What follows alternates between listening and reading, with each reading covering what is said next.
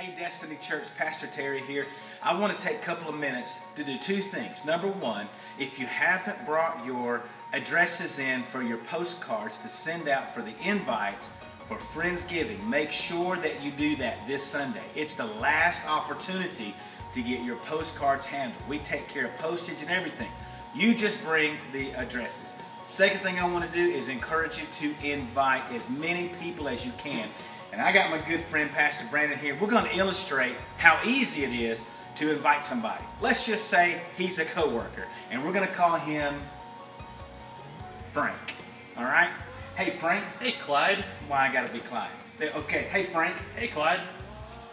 I, man, we got this Friendsgiving event coming up at church. We invite all of our friends to come. I go to a great church. I would love for you and the family to come. We're going to have childcare. It's going to be awesome. I think you guys will really like it. Would you maybe be our guest? You know, I just really don't enjoy churchy things, and I'm kind of busy. I, uh, I don't think so. Oh, well, listen to this. After service that day, we're going up to the park, and we're going to have free food, a free Thanksgiving feast, free turkey. Not only that, Frank, but you get to put your name in the hat for a drawing for a free $500 gift card. Well, praise Jesus. I'll be there. It's just that simple, church. Invite, bring your addresses. We'll see you Sunday.